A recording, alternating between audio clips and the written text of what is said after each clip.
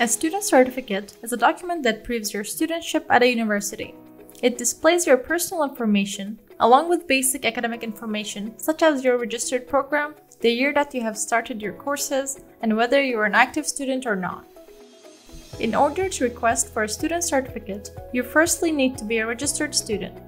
Students who are not registered on the system cannot request for a student certificate.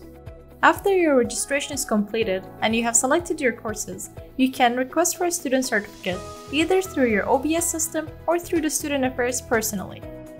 You can consult to the Student Affairs to request for a signed and stamped copy of your student certificate.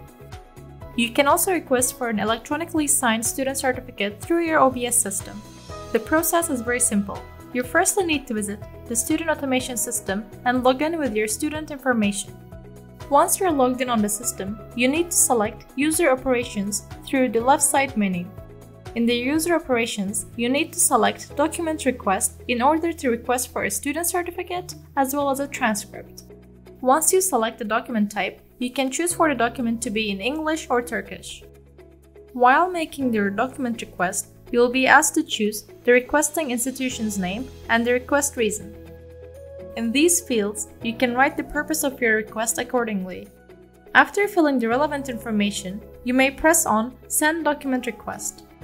The state of your request will be displayed on the same page, therefore, you can track whether it has been approved or not. Once your student certificate or transcript request is approved, you will be able to download it through the same page on your OBS. Each document will have a limited time for the student to download, so once the Student Affairs approves your document, you must download it as soon as possible before it expires. If you have any further questions, you may always reach us via our communication channels which you may find in the description.